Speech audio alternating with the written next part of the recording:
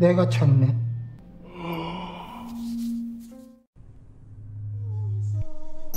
Welcome to the Heavy Spoilers Show. I'm your host Paul, aka Billy the Squid, and this video we're breaking down the brand new Netflix show Squid Game. It's an absolutely incredible first season that's filled with lots of twists and turns, and throughout this video we're going to be going over the story, ending, and what could be happening in season 2. Full spoilers ahead, so it's your choice whether you want to proceed beyond this point, but I warn you, there's no turning back. If you enjoyed the video, then please smash the thumbs up button, and don't forget to subscribe for breakdowns like this each and every day. Without the way, thank you for playing, now let's get into season 1 of Squid Game. Okay, so Squid Game follows Ji Hun, a man who's down on his luck after losing just about everything that means something to him. His marriage failed, he lost his job, is in deep over his head with gangsters, and now faces the fact that his daughter is going to be leaving South Korea with her mother and new family. To make matters worse, his mother is also at death's door, and she requires medical attention in order to save her life. Seems like things are going worse than this channel is, however his fortune seemingly changes when he meets a man at a train station that offers him the opportunity of a life and death time. Desperate for money, Ji-hun finds himself somewhat squidnapped and drafted into a battle royale between himself and 456 contestants. Or was it 455 because they're counting him? Look, either way, it's worth a grand prize of 45.6 billion and obviously everyone's desperate to get their hands on it. Throughout, we watch as the players are whittled down to one in games of red and green, honeycombs, tug of war, deadly hopscotch, and one that will have you losing your marbles due to the betrayals in it. The season is a blast to watch, and early on it sets up this idea of division within colours that thematically ends up coming full circle by the end. The colours red and green are introduced, and these are actually classed as opposites on the colour spectrum. Both are mentioned in the passwords, they become the name of the first game, and even the contestants wear green whilst the gods don red. This show is absolutely laced with these opposing colours, and they in many ways very much represent the divide between the powerful and powerless. As we know from our own society, this divide is often showcased between the rich and poor, and we learn that there are a vast number of wealthy men who actually oversee the entire operation and that this is all for their entertainment. Rather than being seen as people, the players are very much just numbers, and this is demonstrated in the fact that they are literally given these as their names. Along the way, Ji-hun meets an elderly man named Number 1, and the fact that he's the first drafted into the game should give you a clue towards his true identity at the end. Ji-hun is the last number, and throughout the season we watch as he very much works his way down to number 1. At one point, number 1 even ends the game and gives the survivors of the first round a chance to go off and live their lives, but they all return desperate for the money. In the end, all that remains are Ji-hun and Sang-woo, two childhood friends who led very different lives, but both found themselves in the same spot come the end of the game. The final competition is the titular Squid Game, and we watch as the thing they played as children decides who will live and die. It's an awesome final battle, and they even bring some rain in in order to add some dramatics to the showdown. Ji-hun bests Sang-woo, but rather than killing him, he brings up the clause that if both players forfeit then the game will be null and void, and thus they'll both get to go home. This will be for nothing, but Ji-hun would rather put a stop to the death than gain the money. However, rather than forfeiting, Sang-woo ends his own life because of what he's done when playing. All he does is make Ji-hun promise that he'll look after his mother, and then he stabs himself leaving Ji-hun as the last man standing. Now whilst this is going on, we see a police officer whose brother disappeared investigating the island in an attempt to learn his fate. Throughout he sees things from the other side, but a big twist comes towards the end when we learn that his sibling is actually a character known as the frontman who's running the operation. He attempts to alert the police to the whereabouts of the island as well as what's going on, but the fact that the game is still continuing at the end lets us know that the operation wasn't shut down.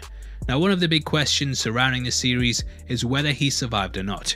Towards the end of the season he's shot, and though the character takes a tumble off a cliff into the ocean, we never actually see a body, and therefore we can assume that he's still alive. Hwang Jun-ho is only shot in the shoulder, much like his brother, and with the front man not dying from the wound, it is likely that his brother didn't either. However, we do know that he didn't shut down the Squid Games, so it'll be interesting to see how he's brought back in future seasons. Now after the prize money is given to Ji-hun, he returns home but upon getting there finds that his mother has died. Due to him participating in the games, he wasn't there for her in her final few days, and it's a devastating ending that feels like a real gut punch in what was an already extremely brutal series. It's at this point that we pick up one year later and discover that Ji-hun is still living life in the exact same manner that he was before he won. The money he sought after for so long was actually worth nothing to him in the end, and the real people who meant something to him were lost whilst he tried to seek out these riches. It's very much a case of the only thing worse than not getting what you want is getting it, and he's trapped in a state of grief by himself with life having lost its meaning. At this point he's given a card which is similar to the one that started everything off, and on the back of it he finds an address which leads him to an apartment. Here he finds number 1 bedbound, and we learn that he was actually behind the entire game.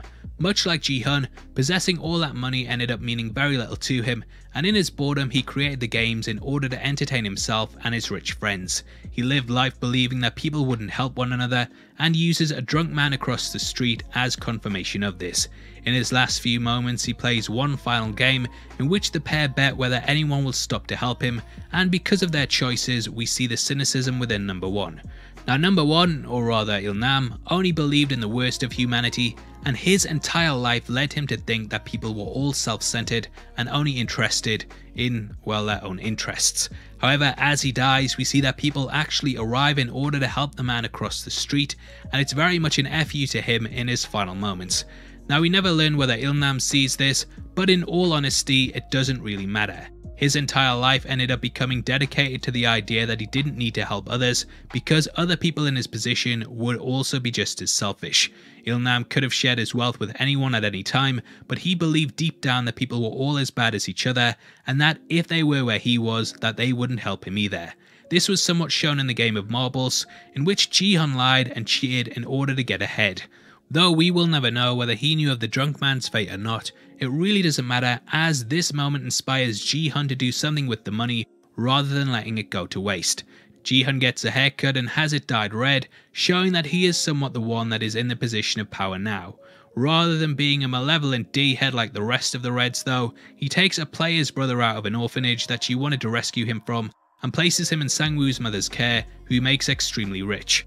He lives up to his two promises, and though it seems like a happy ending, it's all quickly cut short when we realise that the game is still going. Though Ilnam died, the game didn't die with him, and at a train station he comes across the man who recruited him, played by Gong Yu. You might recognise him from the seminal horror Train to Busan, and I believe that come the second season he will play a much bigger role. He is clearly still tied into the operation, and Ji-hun takes the card from the person he was attempting to rope into the game. The season closes out with Ji-hun about to board a plane to LA in order to see his daughter, but after calling the number on the card, he comes to the conclusion that the game is still going and that hundreds more people will die if he doesn't step in and do something about it. He tells the front man that he's coming for them, and this of course carries a lot of weight for season 2. Now I believe that Ji-hun will meet with Hwang Jun-ho, and that together the pair will end up going to the island in order to stop the games. Ji-hun was gassed during transport, so he doesn't know how to get there, However, Hwang Jun-ho does if he made it out and managed to swim back to the mainland.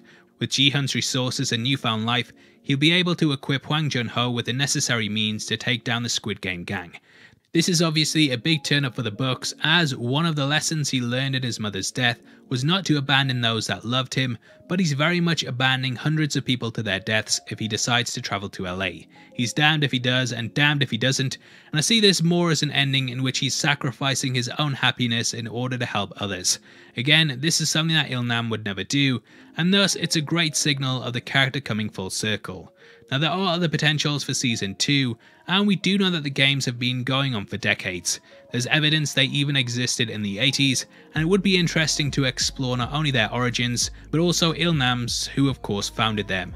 There's also the fact that these are being run internationally, and though it's a long shot, I'd love to see Netflix bring in the European and Western games as a series to show us what was happening there before we build to an overarching narrative involving all the winners.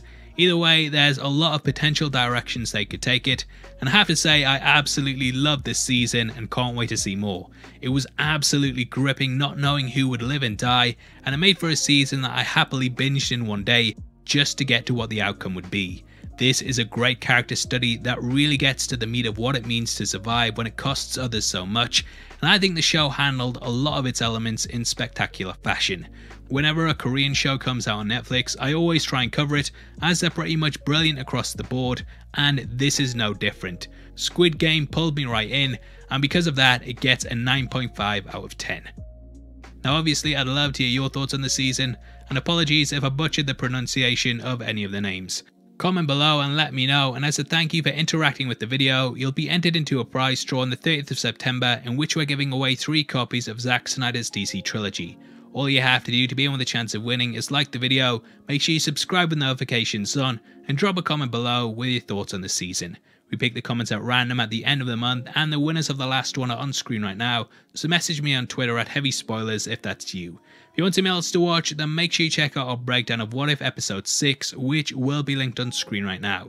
We went over the full episode and pointed out all the Easter eggs in it, so it's definitely worth checking out if you're a Marvel maniac. With that out of the way, thank you for sitting through the video, I've been Paul, I'll see you on the next one. Take care, peace.